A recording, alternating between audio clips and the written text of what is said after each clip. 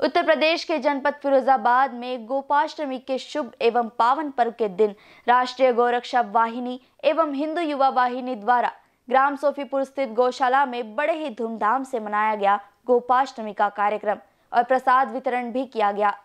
जहाँ कार्यक्रम के चलते जिला अध्यक्ष संदीप निषाद उत्तर प्रदेश जिला मंत्री डॉक्टर शिवम कुलश्रेष्ठ, राहुल जैन एवं एडवोकेट संदीप कुमार उज्जवल, भारत अभियान के जिला अध्यक्ष आदि लोग मौजूद रहे। वही पदाधिकारियों ने गौ भ्रूण हत्या के लिए विनम्र विनती करते हुए लोगों को संदेश दिया कि गौ हत्या एक जघन्य अपराध है, इसे ना करे और लोगों को गौ माता के प्रति संवेदनाएँ प्रदान करे और गौ माता की सेवा करे। गौष्टमी के पावन अवसर पर राष्ट्रीय गौ सेवा समिति और ओम गौ सेवा समिति यहाँ कार्य करती रहती है।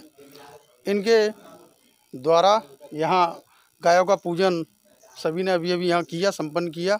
इसके बाद इससे पहले हवन भी हुआ और पूजन के बाद गौ माता के लिए हम सभी के द्वारा जो भी भोजन की व्यवस्था की जा सकती है, वो कर रहे हैं। सभी यहाँ उपस्थित हुए हैं। ये तय किया गया है कि सभी लोग मिलकर गौ सेवा के लिए दृढ़ संकल्पित रहेंगे।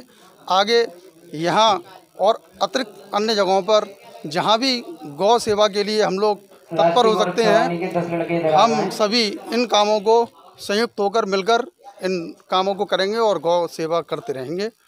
ये भावना हम सभी की है। आज गौष्टमी के अवसर पर यह शुभ कार्य सम्पन्न हुआ है। आगे भी होता रहे ऐसी हम सबकी जय गौ माता।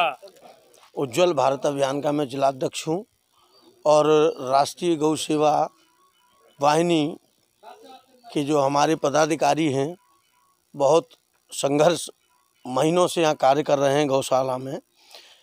गौशाला यमुना घाट सोफीपुर पर हमारी राष्ट्रीय गौरक्षा वाहिनी के सभी कार्यकर्ता एवं दायित्ववान कार्यकर्ता बहुत संघर्ष और बहुत मेहनत से यहाँ बहुत साफ़ सफ़ाई और बहुत अच्छा कार्यक्रम और आज गोपाष्टमी के कार्यक्रम पे हवन पूजन के साथ जो कार्यक्रम किया सब लोगों ने और सभी लोगों ने आरती की गौ माता की सेवा कर रहे हैं। लगातार बहुत अच्छे अच्छे काम कर रहे हैं और मैं आगे भी आस्था रखूँगा कि सभी भाई हमारे गौ सेवा में आगे चढ़ बढ़ कर हिस्सा लें और हमेशा हर साल गोपाष्टमी का कार्यक्रम इससे भी भव्य करें। फिरोजाबाद से रिहान अली की रिपोर्ट।